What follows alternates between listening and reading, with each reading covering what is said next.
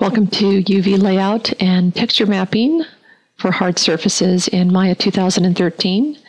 In this tutorial, we're going to use planar mapping to lay out the UVs for the top and bottom of this skateboard deck.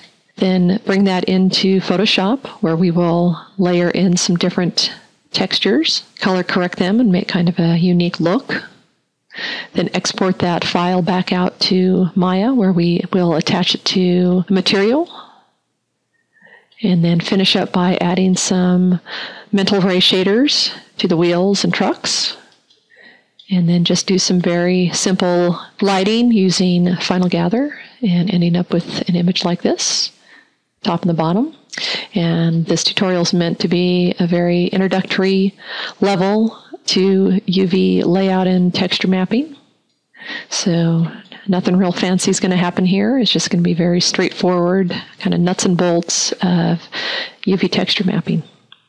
So we'll get started in the next lesson, converting our NURB surface of the deck into a polygon and laying out the UVs.